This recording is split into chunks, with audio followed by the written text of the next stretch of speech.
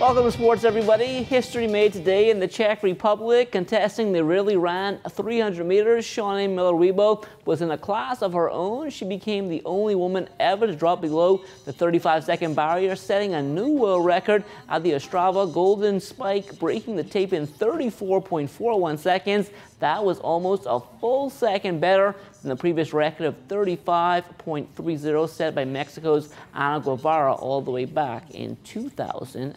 Three.